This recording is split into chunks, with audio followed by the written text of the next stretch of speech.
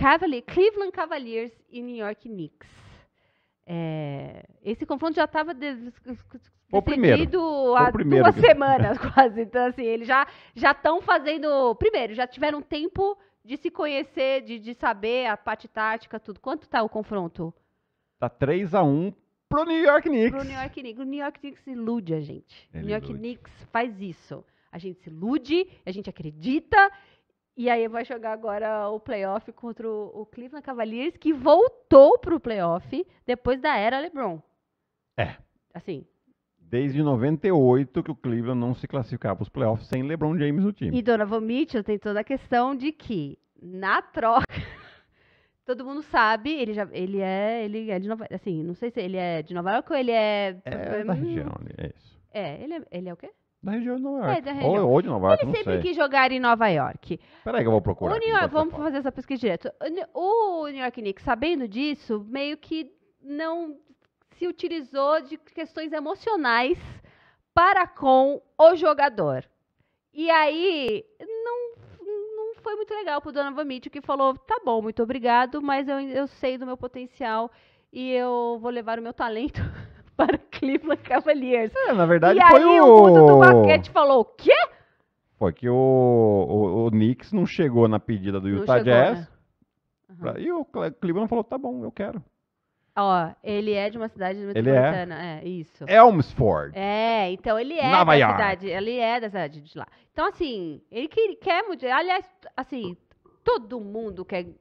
A gente tá. Eu eu fui no outro, no podcast, outro, o Panela NBA, e a gente Uhum. tava falando sobre que- jogador não quer ser o, o cara que leve o título de novo pra Nova York? Nossa. Que o cara que pega a franquia na mão e, e, e faça a Nova York ganhar. Que foi o quê? 50, quantos anos? 50. 50 anos, é muita coisa. Então, assim, não vai ser o Donovan Mitchell, porque o Donovan Mitchell foi pra Cleveland e ele encaixou como o quê? Uma luva nesse time, Guilherme. Ele teve esse ano 13 jogos de 40 ou mais pontos.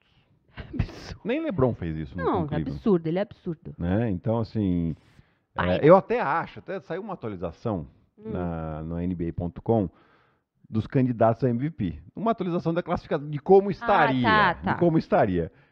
Cara, eu acho um absurdo, porque apareceu o James Harden na lista e não apareceu o Donovan Mitchell. Pô, Donovan Mitchell não tava nem em quinteto de crítico especializado, Guilherme.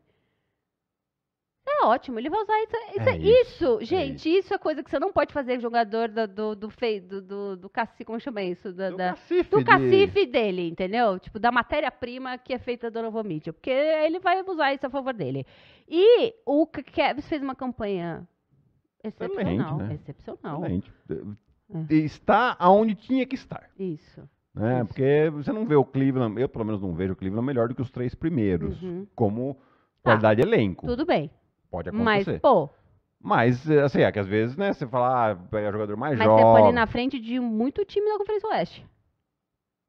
Ah, sim, do jeito que foi. É, não, não tô falando dos Do top, foi, não tô sem falando dúvida. mas assim, tá sem bem. dúvida, sem dúvida. É. E lembrando que Raulzinho também tá, né? Então, Zinho tá assim, lá. Temos o Varejão lá também, que veio aqui falar com a gente. Tem entrevista do Varejão, é a anterior a isso aqui. Então, Exatamente, vai tá lá. lá. Clica aqui. Link! Mentira, não veio ali. produção, a produção. Produção.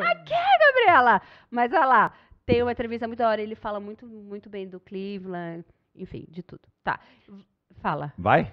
New Quem? York Knicks. Você acha que o Knicks Não, leva? calma, a gente nem falou do New York Ah, Knicks, não, gente. Respira, calma, isso- vai demorar um pouco mais esse daqui. É, New York Knicks. A gente acelera no próximo. A gente acelera A no gente próximo. acelera no próximo, produção. New York Knicks, Julius Randle. Tá machucado. Não vai jogar?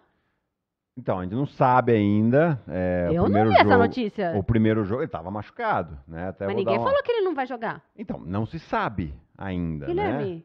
Não se sabe ainda. Jesus Christ. Mas peraí que eu já tô, enquanto a gente tá enrolando aqui o nosso amigo que tá Uhum. nos acompanhando, eu tô dando uma olhadinha aqui. Porque ele tá com uma torção no tornozelo, Uhum. né?